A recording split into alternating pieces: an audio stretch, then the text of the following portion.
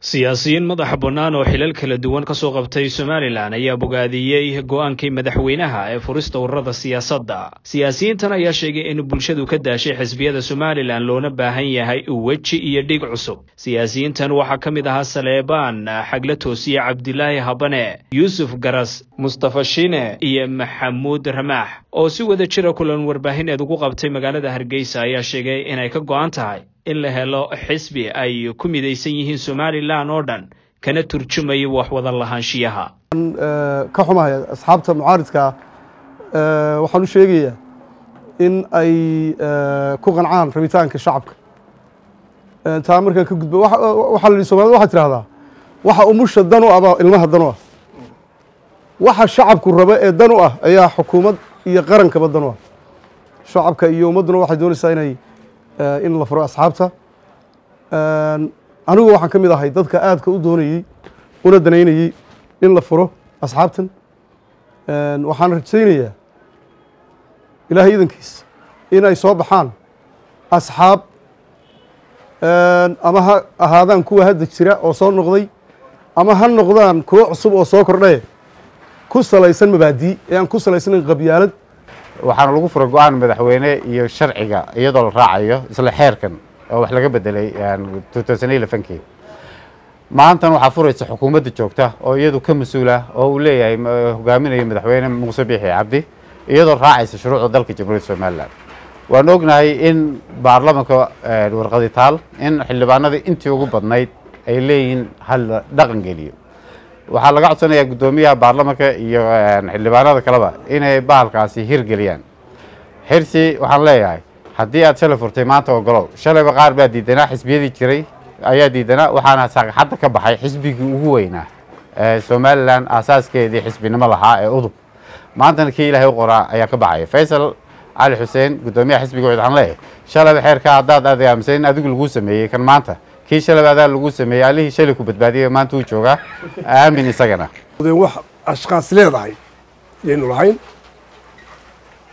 Weli tadawurkii baynu ku jirnaa ilaa aynu helno wax mugle oo miisaanle oo unuga u hooseeya iyo ka u sarreeya ay wada leeyihiin bulshada. Haddaan taa la helinna xisbi maaha. Xisbi qof infisgaraysta xisbi maaha. Xisbi qof leeyahay xisbi maaha xisbi aan dadka midaynayna xisbi maaha. Aada iyo aad baan madaxweyne ugu hambalyaynanaa go'aankaa u qaatay. Waxaanay dadka horu socodkaa ee danaynaya mujtamaca ummadda somalilan meel gaadho ay isku dayi doonaan in ay ka turjumaan. Waxa danta shacbigu tahay ay ka turjumaan.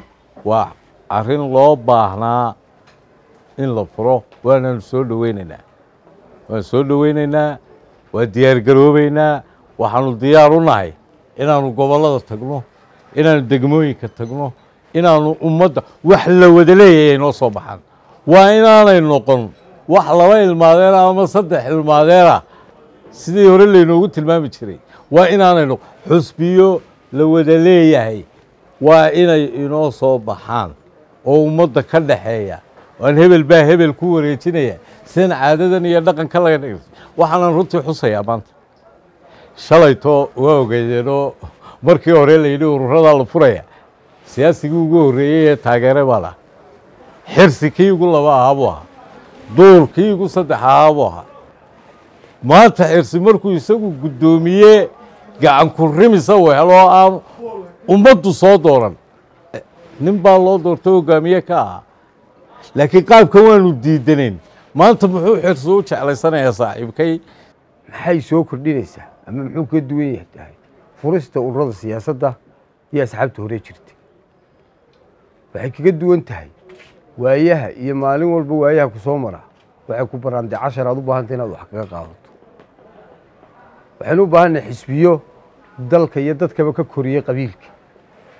Waxaynu u baahannahay xisbiyo aqoon-yahanka iyo dhallinyarada soo koraysa u tababara oo u carbiya hoggaaminta dalkan iyo siyaasadda qaranka waxaynu u baahan nahay ururo iyo xisbiyo ku baysgaraysan sida uu ramaaxba sheegay iyo saleebaan iyo mabaadi' siyaasiya ee aan reero iyo isku dhiib iyo isku isku keen wareeji aan ku baysgaraysnayn ku dhisnayn waxaynu u baahan nahay xisbiyo iyo ururo aynu kula xisaabtanno horumarka siyaasadeed iyo dhaqaale iyo hoggaamin siyaasadeed ee dalkani.